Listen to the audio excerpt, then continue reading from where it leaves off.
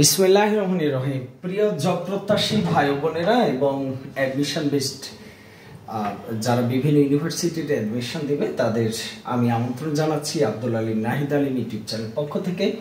আজকে দেখব একচল্লিশতম বিশেষে আসা কতগুলো বাক্য। বাক্যর ক্লাসটা অনেক সহজ মানে অনেক অল্প সময়ের। আমি আশা করছি যে আপনারা সবাই মনোযোগ সহকারে দেখবেন, আমাদের সাথে কমেন্ট বক্সে কমেন্ট করে পাশে থাকবেন। কষ্ট করে একটু যদি শেয়ার করে দেন, তাহলে আপনার মাধ্যমে আমি অন্যের জায়গায় পৌঁছে যাব।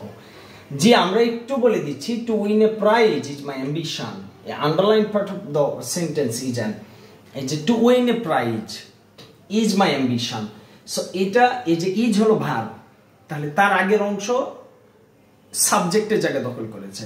সাবজেক্টের জায়গায় যদি একটা ওয়ার্ড দখল হয়, তাহলে সেটা নাউন যদি ফাইনাইট ভার্ব ছাড়া কেউ যুক্ত থাকে, তাহলে সেটা নাউন ফ্রেজ আর যদি একটা ক্লজ থাকে সাবজেক্টের জায়গায়, তখন সেটাকে আমরা বলব নাউন ক্লজ সো আমি একটু বলে নিই নাউন ফ্রেজ চেনার উপায়, বাক্যের শুরুতে যদি কোনো কতগুলো শব্দ থাকে, এরপরে যদি ইজ থাকে, ওই আগের কতগুলো শব্দকে ইট দ্বারা রিপ্লেস করব আইটি ইট দ্বারা, তাহলে আমি নাউন ফ্রেজ পেয়ে যাব। এখন টু ইন এ প্রাইজ এটা মূলত একটা ইনফিনিটিভ ফ্রেজ ইনফিনিটিভ ফ্রেজ বাক্যের সাবজেক্টের জায়গায় যদি থাকে, তাহলে সেটা কি হয়ে যায়? নাউন ফ্রেজ হয়ে যায়। সো আমাদের এটার উত্তর হয়ে যাবে নাউন ফ্রেজ একেবারে চোখ বন্ধ করে। ইট দ্বারা রিপ্লেস করব। যে ফ্রেজকে ইট দ্বারা রিপ্লেস করে যায় তার নাউন ফ্রেজ শেষ কাজ।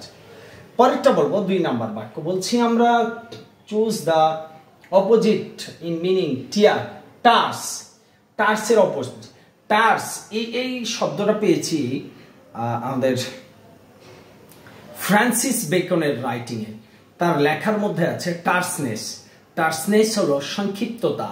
সো টার্স হলো সংক্ষিপ্ত করা কনসাইজ হলো সংক্ষিপ্ত করা বা সংক্ষিপ্ত, আর তারপরে এক্সপ্রেসিভ এটা আলাদা জিনিস, আর ডিসক্রিপটিভ এটাও আলাদা জিনিস। জি এক্সপ্রেসিভ হলো ব্যক্ত করা বা ব্যক্ত, অভিব্যক্তিমূলক ডিসক্রিপটিভ হলো বর্ণনামূলক। টার্স হলো সংক্ষিপ্ততা, তার বিপরীত হবে কি? আর ডিটেইলড ডিটেইলড মানে কি করা? ডিটেল দেওয়া, তার মানে ভালো বর্ণনা দেওয়া। সো ডিটেল টার্স থেকে আমরা কি পেয়ে যাব? ডিটেলড বিস্তারিত বর্ণনা করা, বিস্তারিত বর্ণনা। জি, তিন number whose that in the sentence that that একটা pronoun that whose that this that this those এগুলো প্রোনাউন যদি একা থাকে। এদের পরে যদি নাম থাকে, তখন এগুলো অ্যাডজেক্টিভ হয়ে যায়। এটা নিয়ে আলাদা ক্লাস আছে, ভবিষ্যৎ আমাদের ক্লাসগুলোর সাথেই থাকুন এগুলো নিয়ে আমরা আলোচনা করব। জি সো হুজ দ্যাট এটা একটা দ্যাট একটা প্রোনাউন পরেরটা বলছি আমরা। What is the noun from of the word know know এর নাউন নলেজ এটা অনেক বেশি আসে। নো এর নাউন কি? নলেজ নো থেকে নলেজ একেবারে শেষ কাজ। নো থেকে নলেজ শেষ। পাঁচ number. Why then it is none to you, for there is nothing either good or bad, but thinking makes it so. This extract is taken from the drama. কোন drama থেকে নেওয়া হয়েছে? এটা মূলত Hamlet থেকে নেওয়া হয়েছে।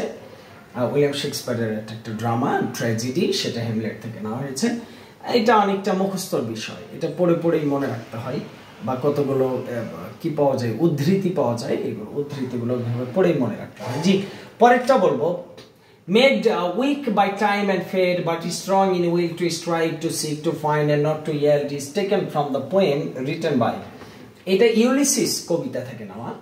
আর ইউলিসিস কবিতাটা লিখেছিলেন Alfred Lord Tennyson. Alfred Tennyson.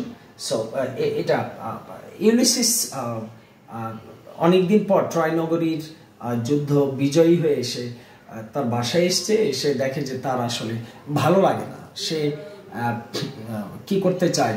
R to seek the new world to know the unknown and to see the unseen is the motto of Victorian people. So, like the Victorian people, uh, Ulysses wanted to wanted to visit again and again. বারবার কি করতে চেয়েছিল? So এটা Alfred Lord Tennyson থেকে নেওয়া। জি তারপরে সাত নম্বর বলছি give somebody a piece of your mind এটা অনেকটা বাগধারার মতো বা এক কথা প্রকাশের মতো যে অন্য কাউকে তোমার মস্তিষ্কের বা ব্রেনের বা মেধার এক টুকরা দেওয়া দিয়ে দেওয়া মানে কি? তুমি তার উপরে আসলে বিরক্ত। সো এটার উত্তর হলো tell some of that you are very angry with them তুমি তার উপর কিসে আছো? বিরক্ত I shall help you provided you obey me provided মানে এখানে হলো ইফ এই জন্য আই শ্যাল হেল্প ইউ এটা একটা ক্লজ আর ইউ ওবে মি এটাও একটা ক্লজ সো দুইটা ক্লজকে যখন কেউ যুক্ত করেছে, তখন সেটাকে আমরা বলছি কনজাংশন তখন সেটাকে কি বলছি? কনজাংশন বলছি। নয় নম্বর বাক্য বলতে পারি আইডেন্টিফাই দ্য কারেক্ট স্পেলিং সেটা হলো কোয়েশ্চেনিয়ার সো কোয়েশ্চেনিয়ার মনে রাখার সহজ উপায় হলো, আমি একটু বলে ফেলি কোয়েশ্চেন নাই রে। আমরা আরেকবার বলছি কোয়েশ্চেন নাই রে। কোয়েশ্চেন নাই রে, এটাই হলো questionnaire question Q U S T I N question নাই রে। টি আই ও এন একটা হয়ে গেছে, আবার নাই এন আই নাই রে আর ইডি ওকে নাই রে কোয়েশ্চেন নাই রে। এটা মনে রাখার, এটা নেমনিক পড়ে একটু। ওকে জি, দশ নাম্বার। বাট নিচের কোন বাক্যে বাট একটা প্রেপোজিশন বাট একটু সহজ। It is but right to admit our force এখানে বাট তখনই প্রেপোজিশন কোনো বাক্যে যদি বাট ছাড়া অর্থ দেয়। ছাড়া মানে উইদাউট ছাড়া যখন অর্থ দিবে, তখন সেটাকে আমরা বলছি প্রেপোজিশন সো আমাদের সঠিক উত্তরটা নিয়ে নিই what what can we do but sit and wait আমরা কি করতে পারি? বসে অপেক্ষা করা ছাড়া। বসে ছাড়া মানে বসে থাকা ছাড়া বা অপেক্ষা করা ছাড়া আমরা কি করতে পারি? এই যে যখনই কোনো বাক্যে ছাড়া মিনিং আসবে, তখন সেই বাক্যটা, সেই বাক্যের বাট এটা একটা প্রেপোজিশন জি।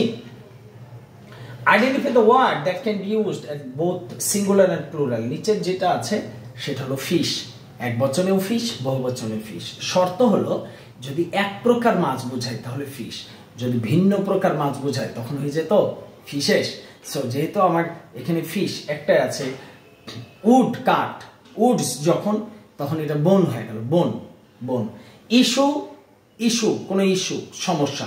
ইস্যু যখন সন্তান সন্ততি, বহুবচন হয়ে গেলে ভিন্ন মিনিং হয়ে যাবে। ওকে লাইট লাইটস ভিন্ন মিনিং হয়ে যাবে। তবে ফিশ ফিশেস একই মিনিং থাকবে।